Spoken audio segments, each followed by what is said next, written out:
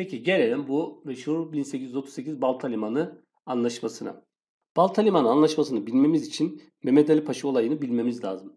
Mehmet Ali Paşa kimdi biliyorsunuz Mısır valisiydi. Bu Mora isyanı sırasında Mehmet Ali Paşa'dan yardım isteniyor. Mehmet Ali Paşa da bunun karşılığında yardım ediyor ama Mora kaybediliyor. Mehmet Ali Paşa'ya Mora'nın valiliği teklif edilmişti. Mora kaybedilince Mehmet Ali Paşa Suriye valiliğini istiyor. Yalnız padişah bunu vermiyor. Daha sonra uzatmayayım. 1833'te işte Mehmet Ali Paşa ile Osmanlı arasında bir savaş gerçekleşiyor ve Mehmet Ali Paşa Osmanlı'yı yeniyor. Kütahya Anlaşması'yla Mısır, Girit, Suriye valiliği Mehmet Ali Paşa'ya veriliyor. İşte bu dönemde Mehmet Ali Paşa isyanına karşı Osmanlı Devleti Rusya'dan yardım istemişti. Rusya'nın devreye girmesi, girdiğini gören İngiltere Osmanlı Devleti ile ne yapacak? Bir anlaşma yapacak. Yani 2. Mahmut bu dönemde Mehmet Ali Paşa isyanına karşı hem Ruslardan hem İngilizlerden yardım isteyecek. İşte İngilizler yardım etmek için de ne yapacak? Balta Limanı Anlaşması'nın, ticaret anlaşmasının imzalanmasını isteyecek. Balta Limanı Ticaret Anlaşması'nın tarihçesi bu. Peki bu anlaşma neler içeriyor? Birincisi arkadaşlar tekel sistemi kaldırılıyor. İkincisi İngilizler diledikleri miktarda ham maddeyi satın alma imkanına kavuşuyor.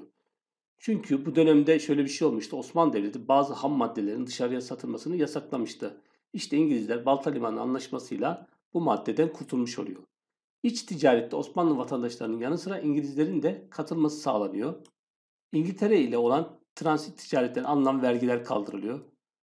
Başka neler varmış? İngiliz vatandaşları Osmanlı ürünlerini Osmanlı tebaasından tacirlerle aynı vergi koşullarında satın alabiliyor. Bu madde ilginç. Anlaşmayla birlikte ihracattan %12, ithalattan %5 gümrük vergisi alınıyor arkadaşlar. Yerli tüccarlar %12 iç gümrük vergisi öderken yabancı tüccarlardan bu vergi alınmıyor. Gördüğünüz gibi bu maddelerle birlikte ne oldu? Osmanlı büyük bir pazar haline geldi. Yavaş yavaş Avrupalıların ürünleri Osmanlı ülkesine girdi ve Osmanlı ticareti tamamen batmış oldu arkadaşlar. Yani Baltaliban Anlaşması Osmanlı ticareti bitiren en önemli anlaşmalardan biridir. Peki Osmanlı bunu niye yapmıştı? Mecbur kalmıştı. Çünkü 2. Mahmut kendi valisi olan Kavalalı Mehmet Ali Paşa ile bile baş edemiyordu. Bu maddeyle birlikte dediğim gibi Osmanlı e, pazar haline geldiği için içeride esnaf da doğru düzgün ham madde bulamadı. Çünkü İngilizler daha fazla para verip bunların hepsini aldılar.